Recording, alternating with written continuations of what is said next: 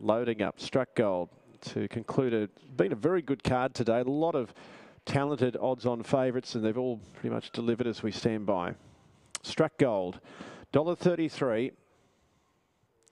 Green light is there. The Sportsbet heat five.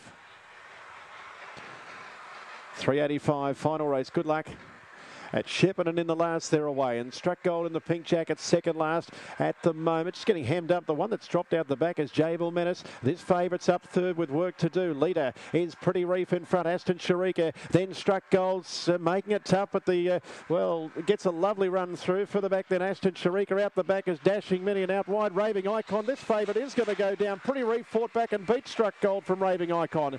Then Aston Sharika Dashing Mini, and Jabil Menace well, didn't go very smoothly, but I thought when the uh, when the huge gap was there at the top of the straight, it might go through and win that. But Pretty Reef has actually fought back and beat it. The threes on favourite goes down. It's six eight four, and looks as though number seven will be fourth. Twenty two one four two. It's eight thirty three that first split. Thirteen eighty one.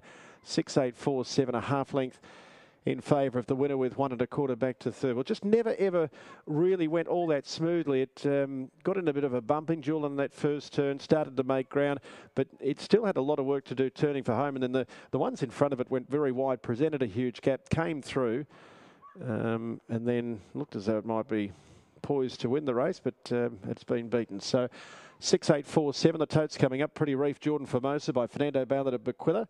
That is win number seven at start 34 and has um, taken the race at $9.10 and $2.20.